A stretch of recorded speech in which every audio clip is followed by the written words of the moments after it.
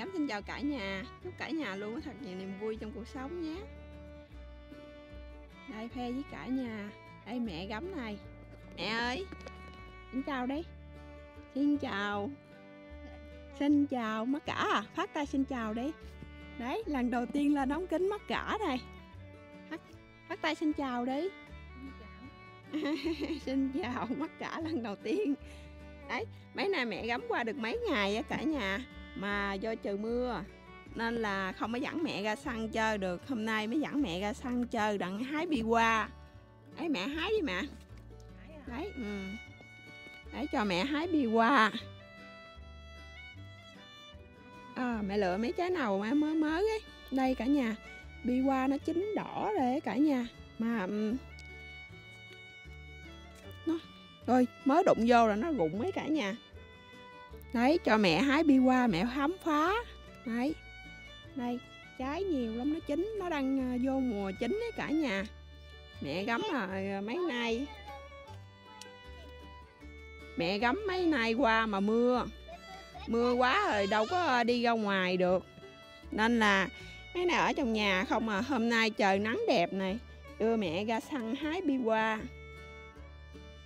Bà hái luôn hai trái này đi mẹ, lát vô con rửa lại cho đây dưới này nữa nè. Đấy. Nó ở trong đó nữa đấy mày. Này cả nhà. Nhiều lắm luôn. Nó đang chín gỗ ấy cả nhà. Đấy. Nó đang chín gộ đây nè. Cả nhà xem. Đây.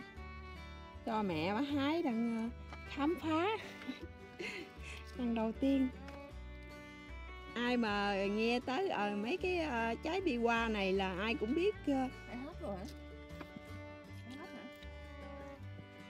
Dạ hái hết đi mẹ.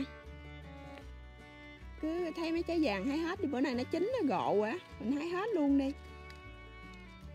Cả nhà biết không?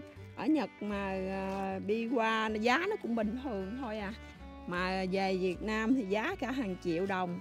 Mà ai mà dân ờ, dân ăn chơi thứ thiệt là sẽ biết trái trái này với cả nhà.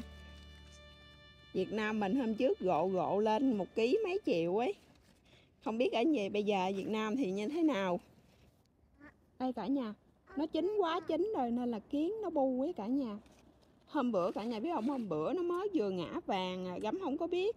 Gấm hái, tưởng là nó chín rồi, gấm hái vô ăn nó chua dữ lắm. Xong rồi cái ờ, gấm bỏ luôn nghĩ là do mình không bón phân mình không kỹ thuật bón phân ấy, mình không có bón, nên là nó chua. Xong cái gắm hỏi cái cô ở hàng xóm nè, cô chiên trồng ờ, ừ, đồ hàng nông nghiệp ấy. Cô nói là vì mình vẫn còn sớm ấy, khi nào mà nó chín vàng ươm lên ấy. Thì lúc đó nó mới ờ, thì lúc đó nó mới chín, mới mới là ngọt. Nên là bây giờ gắm mới sẵn tiện dịp mẹ qua thu, nên là cho mẹ thu trái bi qua luôn.